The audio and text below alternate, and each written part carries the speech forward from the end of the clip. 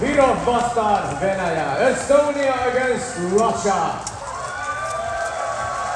Kultaottelu.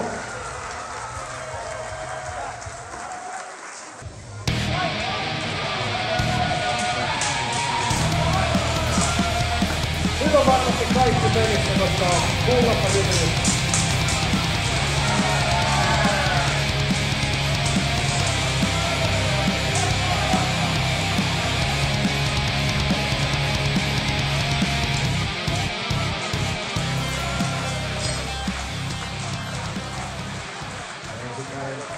Venäjän joukkueelle. Muistetaan se, että kyseessä on siis Suomen ensimmäinen World Medieval Fighting Championship taas turnaus. Eli tässä on niin sanotusti kovat panokset. Ensimmäinen erä Venäjän joukkueelle.